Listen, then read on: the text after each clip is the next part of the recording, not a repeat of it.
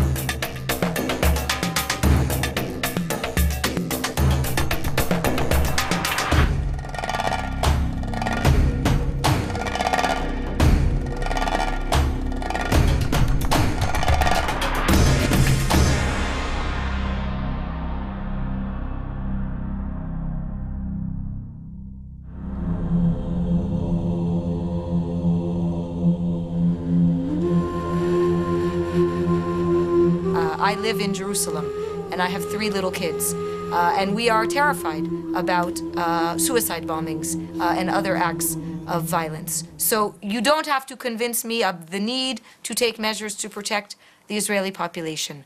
The question is where you have decided to, to put up this barrier. And in Jerusalem, in fact, I think it is, it is a very cynical manipulation of our concerns about security because the, the, the root of the barrier in Jerusalem has very little to do with security.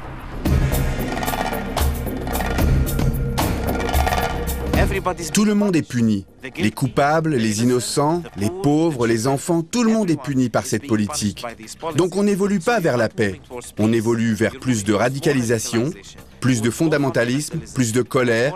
Et je pense en fin de compte qu'on ne voit plus d'espoir. On n'a plus d'espoir. Avec l'État d'Israël, on n'a plus d'espoir.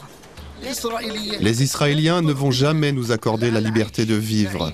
Et je m'interroge beaucoup sur la démocratie qu'ils prétendent avoir et qui est une démocratie de guerre.